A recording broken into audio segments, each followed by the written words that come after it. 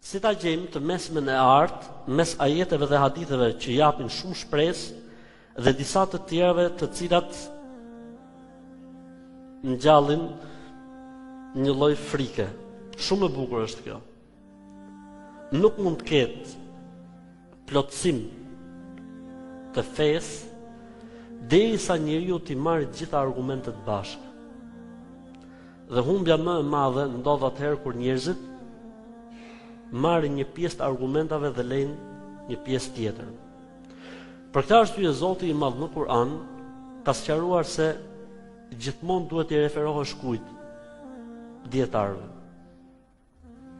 Zoti i Madh në Kur'an ka treguar se janë disa gjëra që njeriu ka nevojë vazhdimisht të pyesi.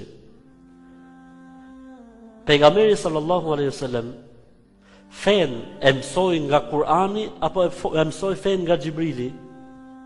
Nga Xhibrili. Namazin ku e mësoi pejgamberi alayhis salam? Prej kujt e mësoi?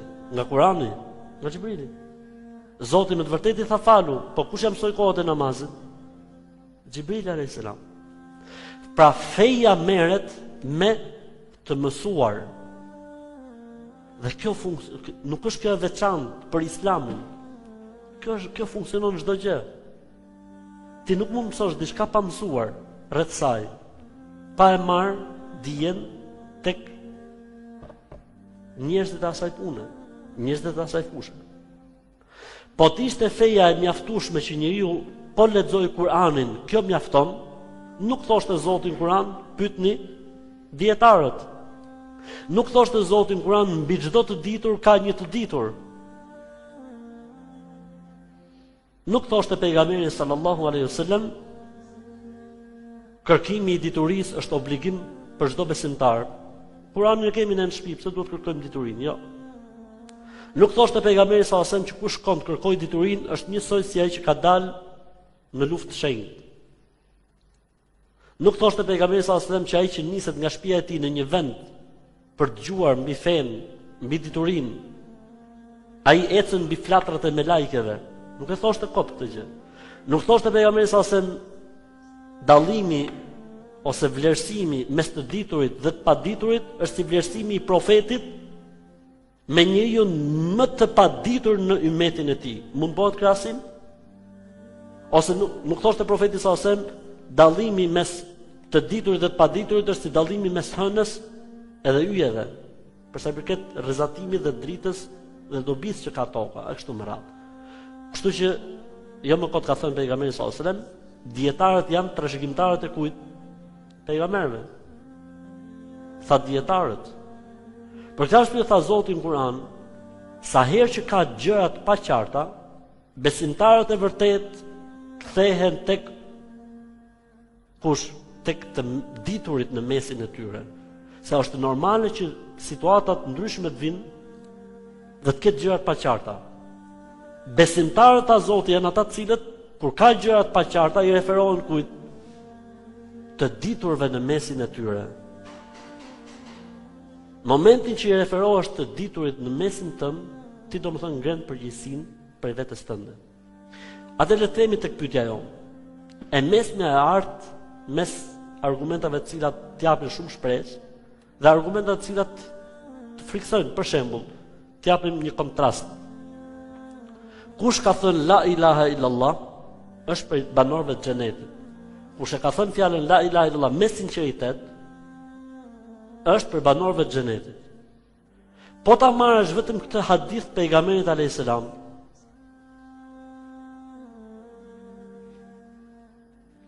Si tha,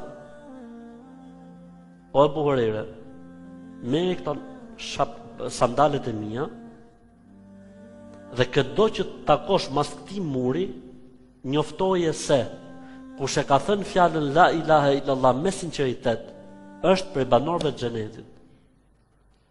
Kur doli Ebu Hurejra, njeriu i parë që takoi kush ishte? Kush ishte i pari që takoi? Omeri. Tani Ebu Hurejra do të bonte porosinë e pejgamberit, i tha Omer, ha i tha. Ka thon pejgamberi alejhi salatu ue selam, merri këto sandalet e mia. Inshallah nuk na ngjon ato sekti i sandaleve. Thonë ja ku e kemi argumentin për sandalen, edhe fillojnë varin sandalen në qafë. Tha merri sandalet e mia. Dhe këdo që të takosh mbas këtij muri njoftoje se kush thotë la ilaha illallah me sinqeritet, Zoti Ka për ta fut në xhenet. I tha ai, ktheu, ktheu mbrapsh. Omeri tha, ktheu, ktheu mbrapsh. Si, tha, të kthehem mbrapsh? S'kthehem tha. Se më ka thon pejgamberi alejhi selam. Tha, ktheu, tha, s'kthehem. Mirë, tha, hajde shkojmë edhe një herë bashkë tek pejgamberi alejhi selam. Dhe shkun të dy tek pejgamberi alejhi salatu ue selam. Tha o pejgamberi i Zotit, Ky far burri pretendon se ti i ke thon. Tha pejgamberi alejhi selam po i kam thon. Tha o pejgamberi i Zotit, kam frik se njerëzit kur ta ngjojnë këtë fjalë kanë për ta keqinterpretu. Kam frik se njerëzit kur ta ngjojnë këtë fjalë kanë për ta keqinterpretu. Çfarë tha pejgamberi alejhi selam? Ebu Hurejre, tha, uli, uli, sandalet. Ose rasti i Muadhit, a e di ti o Muadh se kush është e drejta e Zotit dhe e drejta e njeriut? Tha jo, ma thuj. Tha e drejta e Zotit është të adhurohet një i vetëm pa shok.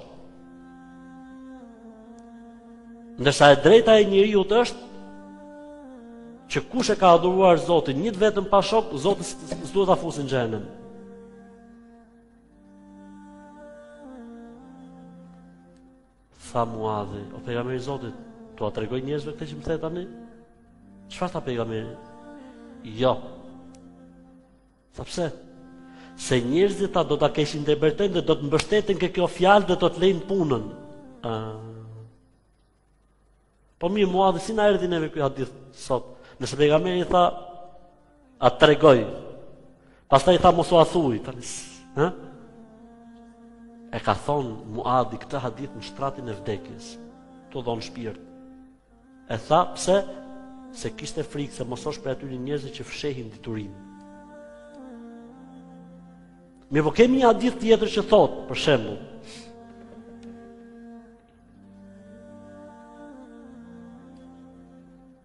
të marrim një hadith i cili flet për dënim dhe ndëshkim për një gjë që të gjithë e dimë që nuk është ndonjë kushedi se çfarë. Për shembull,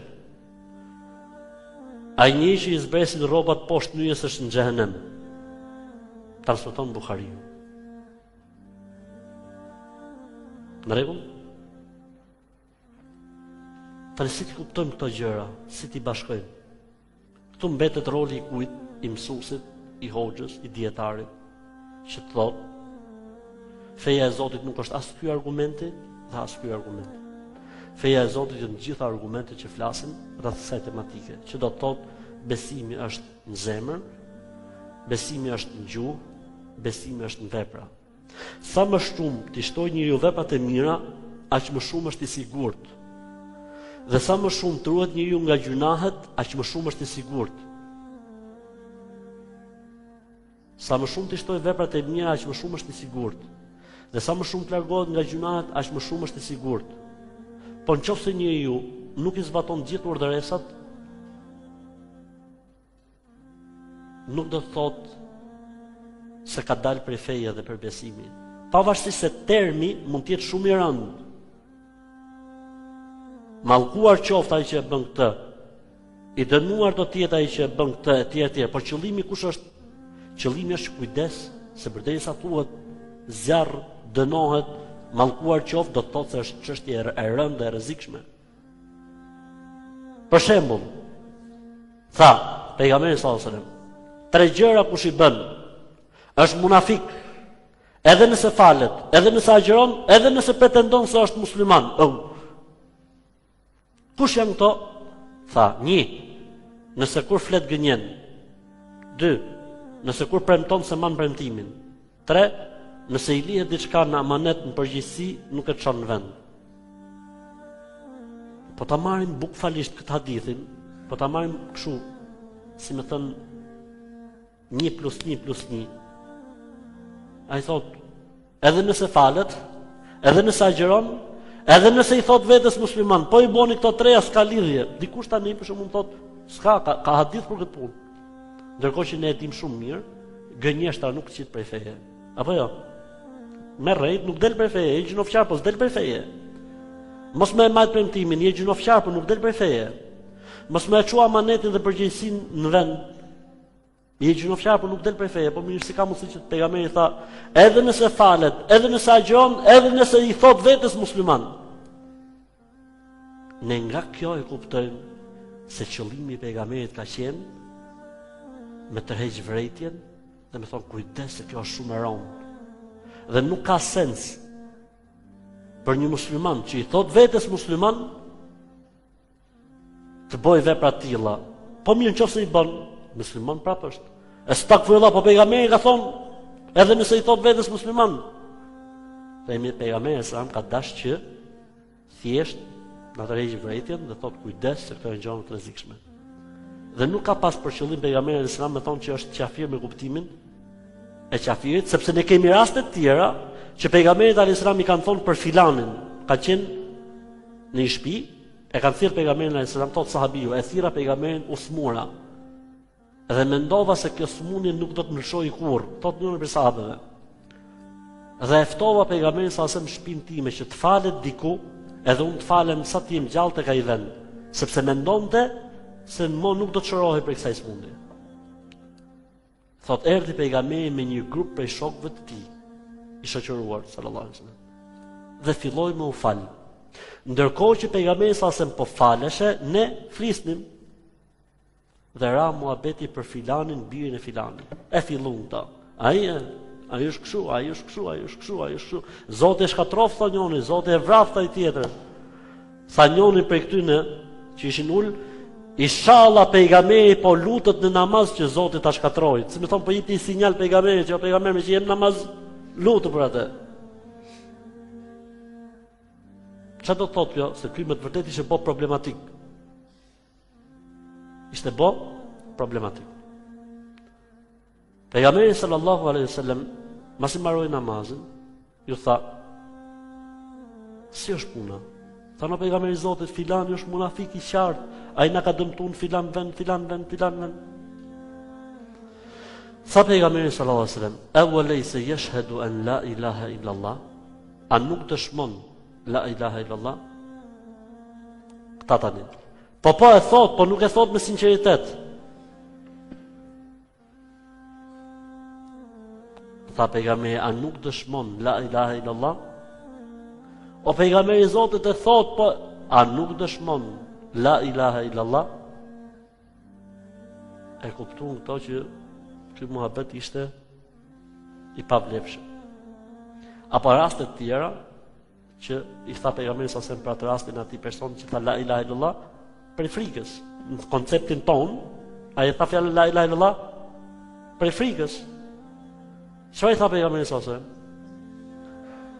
Hela shakakte min kalbi, pse, a ja hape ti zemrën? Ja hape ti zemrën? Logikisht, një njeri që po bën kërdin në mesin e muslimanve, dhe ti e ndjek dhe e zë në një vend ku s'ka ku të shkoj, dhe ai thot, la ilaha illallah, po pse po e thot, la ilaha illallah, prej frikës pra po e thot, Çfarë tha Usame ibn Zeid? Aq shumë u mërzit pejgamberi sa selam.